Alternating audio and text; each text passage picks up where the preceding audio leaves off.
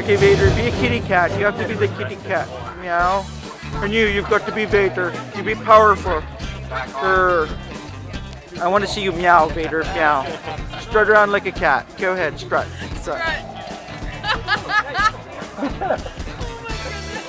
meow, meow. All right, now, now start washing yourself, Vader. That's it. Yeah. He knows this is on video, right?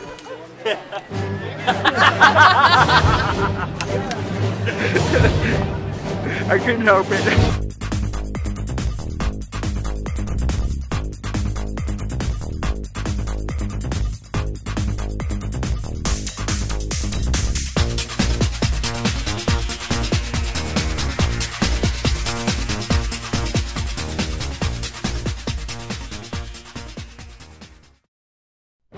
I noticed you have Han Solo. You brought him along. Yeah. I was wondering if I could buy him for one of my ornaments. I kind of like what he's got here. He's my son-in-law. I have to keep him. Your son-in-law. Oh, really? Yes. So this way he doesn't, you know, hit the daughter, tap her. Uh. I know I would have done the same thing, really, because I mean, when I want a father, like I I don't want him touching my daughter. It's like my son, but you know. But then you've got her then you know she was quite the rebellious girl dancing around, you know, as a stripper for you know Boba Fett. Not so good. Hey, dude, dude, I'm just telling you what I see. I'm not judging your.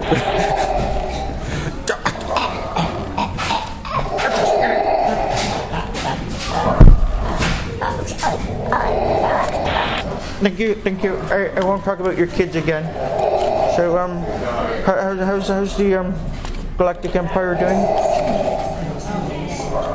Not so Some good. You lose some. Yeah. Oh, hey, I hear you got a new show coming out. It's called Star Wars Detours. Are you ready for the ribbon cutting ceremony? Man, will I be happy when we can stop pretending this thing's a mall. This is no space mall. This is more like a like a some kind of a Death Star. Death Star. I like the sound of that. You get to work with the Emperor a bit more and whatnot. Yeah, you get to see how we really are.